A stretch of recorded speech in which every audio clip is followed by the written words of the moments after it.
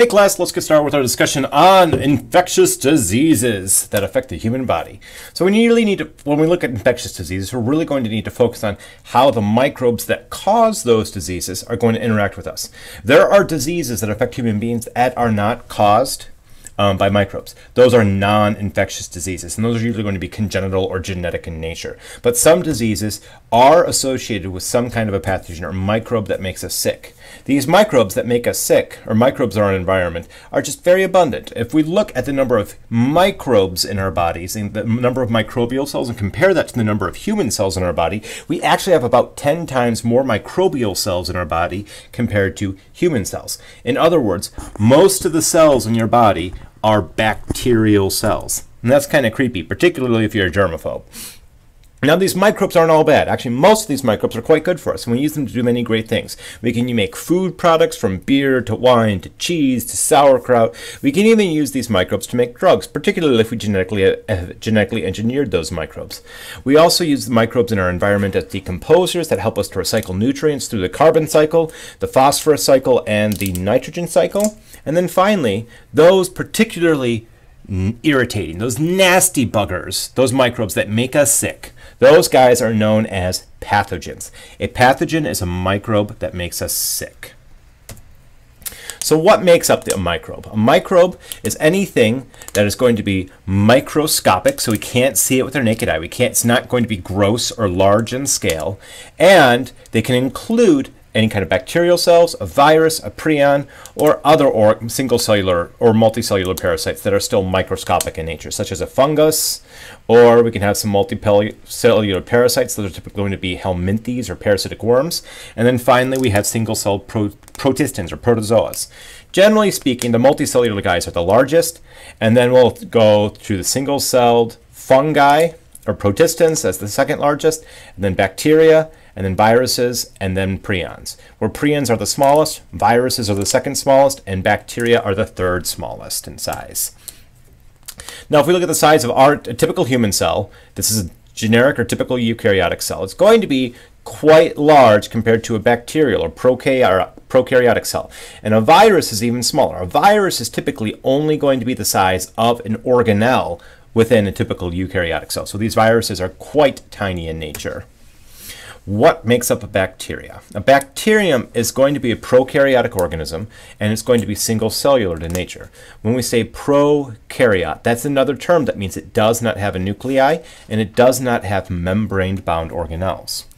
Almost every single bacteria has a cell wall, and because they have these cell walls, they have a lot of structural integrity to their single-celled existence.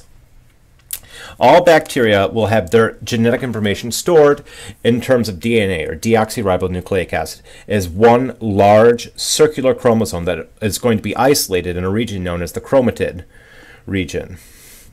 Our bacteria do have ribosomes. Ribosomes are a tiny organelle that we use to make proteins, and these ribosomes are not membrane bound. So when I say bacteria do not have membrane bound organelles. They can have ribosomes because ribosomes don't have a membrane encapsulating them. So every once in a while, our bacteria are going to have a little tiny piece of accessory DNA.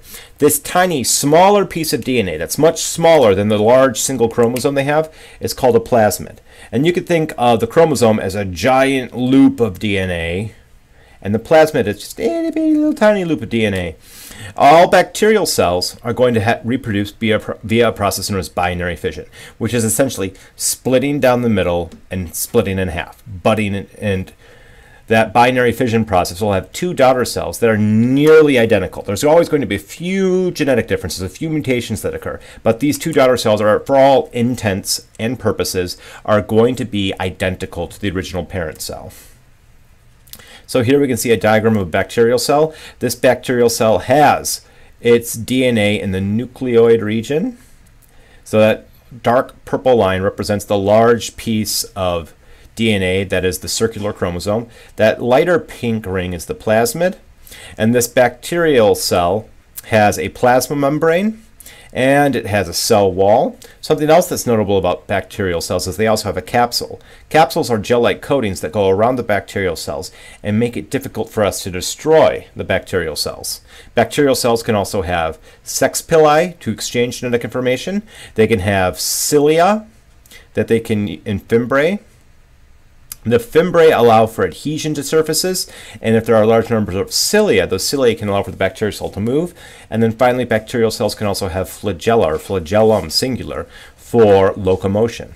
Bacterial cells come in a variety of sizes. They can be spherical or cocci, they can be rod or bacilli shaped, and then finally, they can be spiral or spirorette in shape.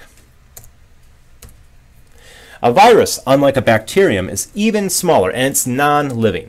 It is not a cell. The smallest living thing is going to be a cell by definition. And since viruses are smaller than cells, they don't possess all of the organelles needed to reproduce on their own, viruses are considered non-living. They are a non-living obligate parasite. What do we mean by obligate? We mean that they have to exist as a parasite. They cannot exist on their own. They must reproduce inside of a host cell that they've reprogrammed. Since our viruses are acellular, I'll emphasize again, they don't have any cells, they are considered non-living in nature. Every single virus is going to have some genetic information in it. The genetic information will be stored as DNA, deoxyribonucleic acid, or RNA, ribonucleic acid. And this genetic information, these nucleic acids, are going to be encapsulated in a protein shell known as the capsid coat. Sometimes the DNA and RNA will be double-stranded. Other times in viruses it can be single-stranded. And this is one of the few exceptions where you'll have or few times where you'll have double-stranded ribonucleic acid or double-stranded RNA or single-stranded DNA. Occasionally viruses will have a an envelope. This will be a layer of lipids that go around or that is superficial to the protein capsids. And viruses are going to attach to very specific cells and enter in them. And they are going to use surface cell markers to determine what cell they attach to. So here's a nice generic adenovirus. This generic adenovirus is going to have a protein coating called the capsid that makes up the majority of its body. Inside, we have genetic information, and then there are fiber proteins or fibers that stick out from the capsid and those fibers are used for docking. Those fibers determine what cell types the virus can fuse with and attack. And then finally, we have prions. Prions are infectious protein particles. It's not even the size of an organelle. This is one protein molecule or protein molecule that is a pathogen all by itself. These prions, generally speaking, are going to be located in the nervous system. Most prion-based diseases are diseases of the nervous system. And what happens? We have, to propagate a prion-based disease, we have the infectious protein particle come in physical contact with a non-infectious protein particle. And when the infectious prion comes in contact with a non-infectious protein, it causes that non-infectious protein to be morphed, change shape, it denatures and becomes an infectious protein. It becomes a prion. So prions can be self-propagating in that whenever they touch a non, the correct non-infectious protein, they can convert that non-infectious protein into a prion. And by changing their shapes or changing their conformations, these proteins go from non-infectious to infectious and propagate the disease. So, class, concept checked. Which of the following is the smallest infectious agent? Is it a bacterium, a prion, a virus, or a protista, or single-celled protist? If you don't know the answer, that is okay. You can go ahead and rewind the video, or you can check your notes, or you can check the PowerPoint. Go ahead and pause the video and get me an answer right now. One, two, three, four, five. All right, class, hopefully you got prion. Prions are the smallest infectious agents. On this list, protista are the largest. They are eukaryotic infectious agents. And then bacteria are the second largest. Viruses are the second smallest. And then prions are the smallest infectious agent. Moving on, let's move to, on to section 8.2. As we look at infectious diseases, it's important that we know how to categorize and study these diseases and how to organize the information we collect about the disease. The study of a disease in a population of individuals is known as epidemiology. An epidemiologist is going to focus on um, things such as what time of year the disease is common, how the disease spreads, what locations, what physical locations have lots of the, of the of a specific disease or have hardly any of the specific disease. They spend a lot of time overlaying disease information with global information system or GIS information to try to find common trends or correlations. Infectious diseases are any kind of a disease that's caused by a pathogen. Um, this, is, this is the basis of an STI versus an STD. And the difference between an STI and an STD is primarily semantics. One's a sexually transmitted disease, one's a sexually transmitted infection. An infectious disease, generally speaking, can include the STD slash STIs, and these are going to be, and many other categories of diseases as well. And they can be caused by a wide variety of things. They've been caused by those single cellular bacteria or protozoans. They can be caused by multicellular parasites, single cellular fungi or multicellular fungi. Non-cellular viruses or protein particles known as prions can cause infectious diseases. If we have an outbreak of an infectious disease that has caused more diseases than we expected, over a certain poorly defined period of time, that is known as an epidemic. Um, recently, in the Midwest, we had a swine flu epidemic. Um, and there were many more people that came down with swine flu than we initially expected. Generally speaking, epidemics are going to be either large scale, so it's going to cover a large category of ground, or a small category of ground or area of ground. Anytime you have more people contract the disease than you expected, that's known as an epidemic. Now, if that epi epidemic is localized, we refer to that as an outbreak. So you could think of it as being related to, um, relegated to a state within the United States. That could be an outbreak. But if we start to have it go, spread to multiple countries, or more particular, more specifically, multiple continents, it goes from an outbreak to a, a pandemic. Pan being a root word that refers to the to the globe. One disease that we're currently suffering from a pandemic from is human immunovirus, or HIV. HIV is believed to have originally inter, um, formed in primates. Um, and these primates have been, are believed to have contracted this disease, and this disease is believed to have mutated sometime in the late 1950s, early 1960s, and then spread to human populations in rural Africa. The exact first date of this time is still being investigated. There's a lot of uh, anal analysis, analysis right now that's looking at the rate of molecular change within the virus or the molecular clock to backtrack to determine when did the mutation occur that allowed it to infect human beings. The first confirmed documented case of HIV AIDS in the United States was in 1969. And as recently as 1983, 1984, um, HIV was found to be the cause of AIDS. HIV is human immunodeficiency virus. AIDS is acquired immunodeficiency syndrome. It's possible for someone to contract HIV and not necessarily have AIDS.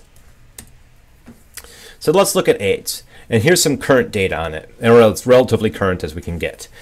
Um, world globally, there's about 34 million people living with AIDS, and of those 34 million, not all of them have AIDS. Um, of those that have HIV, to give you some perspective, um, almost 1% of the global population of adults, almost 1% of adults in the world have HIV. So this is a currently incurable disease that has infected 1% of the global adult population, approximately. And this disease is still spreading very rapidly. If we looked at how many people died from HIV AIDS in 2012, that was 1.6 million people died from HIV in 2012. So if we take 1.2 million and we divide that by 34 million, we look at about a 3.5% morta annual mortality rate of HIV AIDS. If we look at how many people have died since this epidemic first began, we have about 36 million people globally have died. And if we look at what countries are more heavily hit, overwhelmingly, developing countries in sub-Saharan Africa have the highest concentrations of HIV AIDS. So if we look at sub-Saharan Africa over here, 25 million people are estimated to have HIV AIDS or HIV in sub-Saharan Africa.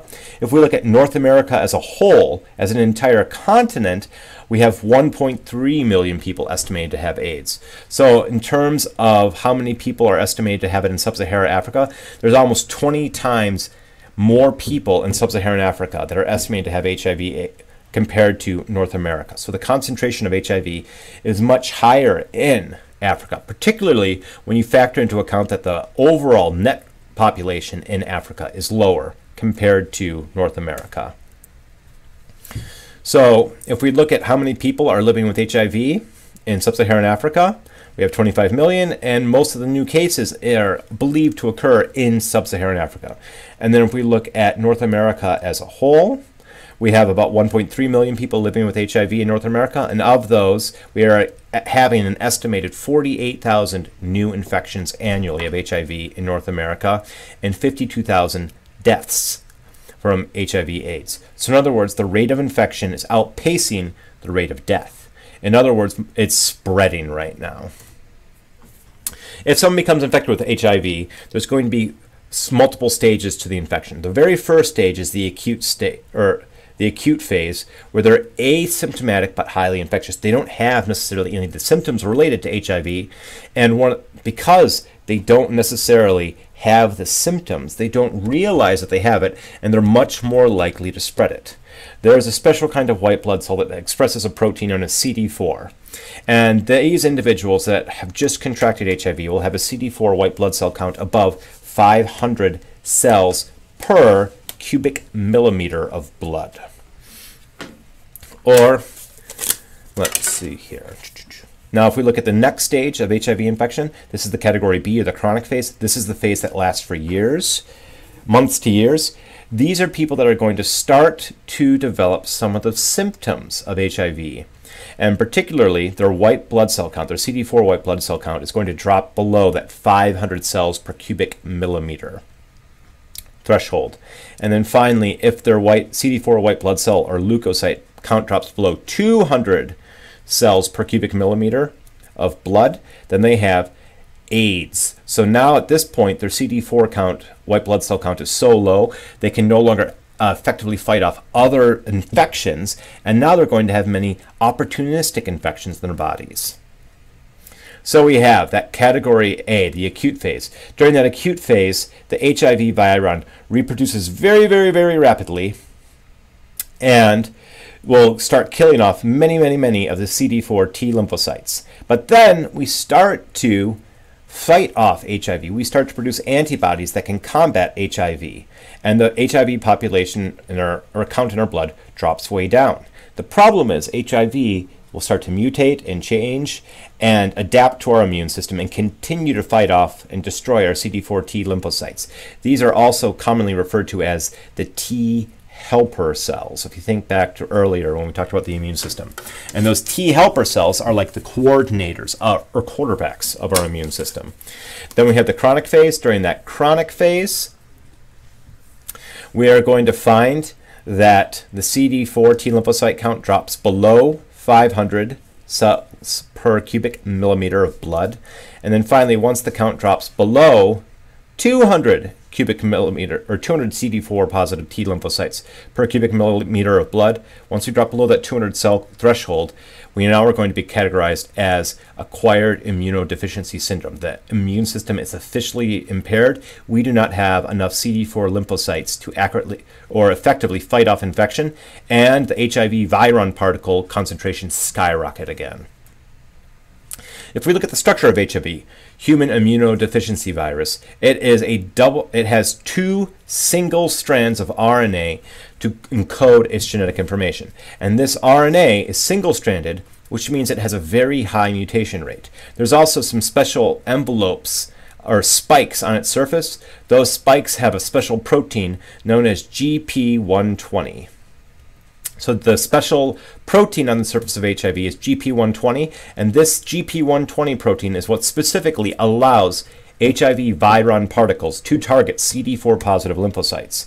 Within HIV, there are three enzymes. One is reverse transcriptase. Reverse transcriptase takes RNA and turns it into DNA. We have integrase. Integrase will take the genetic information from HIV and incorporate it or integrate it into the host cell genome. And then we have protease. This protease is a special enzyme that will help to digest proteins within the host cell. As HIV is attacking a host cell, the very first thing it needs to do is attach to the outside of the host cell. It will attach to the outside of the host cell with those protein spikes, the GP120 spikes, that bind specifically to the CD4 receptors on the host cell. After attaching, the HIV virion cell fuses with the membrane of the host cell and will enter the host cell. During entry, the ribonucleic acids, those two single-stranded pieces of RNA, are going to be dumped into the cytoplasm of the host cell. And then reverse transcriptase from the HIV virion particle will take the RNA that was added to the cytoplasm and turn that RNA into double-stranded DNA. Normally, when we go through the process of transcription, we go from DNA double-stranded DNA to single-stranded messenger RNA. But reverse transcription, uh, done by reverse transcriptase, takes that single-stranded RNA and goes backwards to make a double-stranded piece of DNA. And then finally, we have integration. Once we have that new DNA made, that new DNA is going to be incorporated into the host cell's nucleus, and that is known as a provirus. It's a precursor to the virus. And once we have integration occur, it's very, very difficult to root out and destroy all the HIV virions because those, the genetic code of HIV is now camouflaged and hidden in our own genetic code. After um, integration has occurred, we're now going to, or the host cell will now start to produce viral RNA molecules and viral protein molecules. These viral RNAs and viral proteins will then be assembled within the cytoplasm of the host cell into new virion particles. These new virion particles bud out from the host cell membrane, and as they bud out from the host cell membrane, they will take phospholipids from that host cell membrane, turning them into this, their envelope. And then finally, during transmission, the new virion particle will infect a new host cell. So to summarize this process, we have attachment. It first attaches, it fuses and enters. The viral RNA is turned into DNA or a copied DNA or uh, double-stranded DNA, which is then integrated into the host cell genome. After integration, that Viral genetic material is then used to make messenger RNA. The messenger RNA binds to ribosomes, and viral proteins are made that are then assembled to make uh, virion particles that bud out. And during that budding process, they'll take part of the blue cell membrane with them and turn those phospholipids into the viral envelope. Now let's talk about some of the epidemiology of HIV, how it spreads. Um, we can spread HIV through sexual contact. That is the single largest or single most common source of spreading it, but it also can be spread through dirty needles if someone is an injection drug user, through blood transfusions, or from a mother to an infant, from baby to mother, or from mom to baby. Globally, um, the single biggest cause of HIV spreading is heterosexual sex. Um, particularly if you look in sub-Saharan Africa, there are um, many, many people in sub-Saharan Africa that have HIV AIDS. And there are certain cultural practices in that region that help cause it to spread so rapidly. For one, it's socially um, acceptable, or very common at the very least, to have for men to have multiple, multiple sexual partners at the same time, and for women to also have multiple sexual partners at the same time. So you can imagine the rate of transmission of any sexually um, based disease in those cultures where it's okay or where it's common to have multiple sexual partners is going to be very rapid and very fast. There are also some more rural places within Africa where it's believed that if a male has intercourse with a virgin female, that that male will be cured of HIV AIDS. And this is not the case, but actually serves to infect yet another person with HIV AIDS. Now, most of you are probably going to be living and working in the United States if you're taking this course. So let's talk about what, how the most common modes of transmission in the United States. According to the CDC, the Center for Disease Control, its website, the most common method of transmission of HIV in the United States is homosexual male sex, or men who have sex with men, the MSM, which you can see in this category. Now, uh, 2014 is the most recent data that I can find It was shown on this graph, and I pulled this from a report that was published in 2015. In 2015, if we look at instances of men having sex with men, men having sex with men, um, let's see here, 11,000 plus 9,000 plus 7,000. Um, there were approximately 27,000 new cases of HIV in the United States that have been attributed to men having sex with men in the year 2014. And if we look at heterosexual contact, there was 4,000 plus 2,000 plus 1,000 plus 1,000. There were an estimated 8,000 ish new cases of HIV in the United States due to heterosexual contact. What can we glean from this? Well, first we can glean that this disease does not discriminate based on sexual orientation. Both heterosexual and homosexual individuals can transmit and contract this disease. But what we can also glean from this graph is that within the United States, there's um, if someone falls into a specific demographic, if they are an individual, a male that has sex with male, they're another male, they are much more likely to have contracted HIV compared to someone who does not fall into that demographic category. So, if we look at how we can spread HIV. Casual contact does not spread it. And what do I mean by casual contact? I mean holding hands, brushing up against somebody. Uh, um, if you have intact skin come in contact with intact skin, you're not going to spread this disease. Now, how can we prevent the spread of this disease? Well, first of all, you could just not have sex. Abstinence is a 100% guaranteed method for preventing the spread of this disease. So if you are really worried about contracting HIV, you could just never have sex with anybody and you'll never contract, well, you won't contract this disease via sex.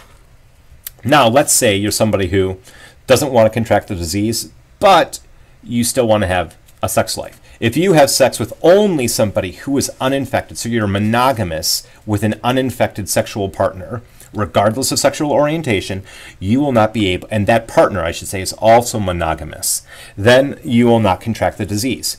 Or if you have proper and consistent use of a barrier, such as a condom, you will not contract the disease. Now, there's a big caveat proper and consistent. Most people that are sexually active won't have a condom available with them every single time that they're in the mood.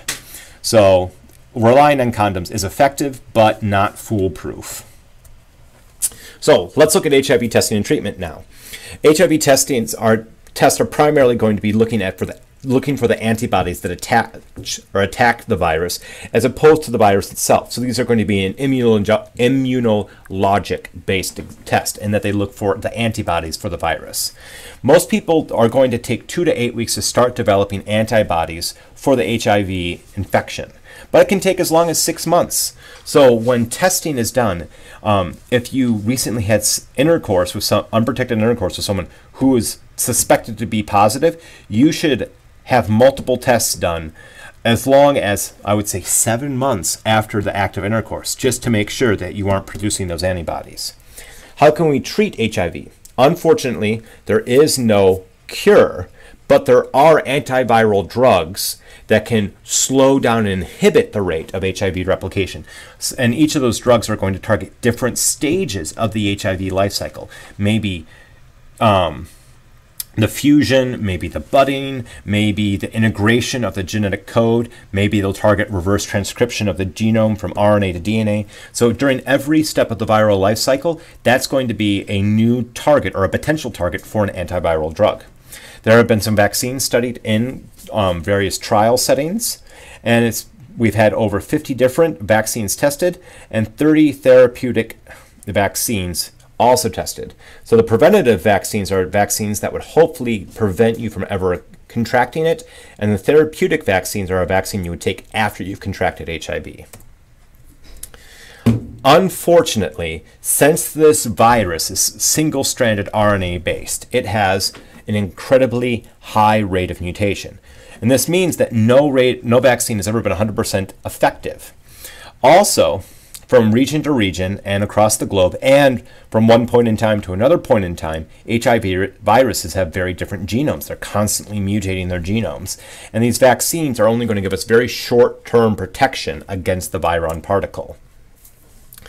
It's also concerned that this vaccine can increase the chances of you contracting the disease or even um, causing the disease itself, depending on what kind of vaccine is used. If we use a um, weakened or deactivated Viron vaccine, there are some very legitimate concerns associated with those particular kinds of vaccines.